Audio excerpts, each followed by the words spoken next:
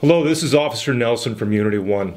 I'd like to speak to you today about preventing sexual assault. Be alert. Don't always assume that you're safe. Think about the situation that you're in and the surroundings. Be sure to trust your instincts, and if it doesn't feel right, just get out of there. Thank you for viewing. If you like this video, be sure to give us a thumbs up and subscribe to our channel. As always, if you have any questions for me, leave them below. Remember to stay safe.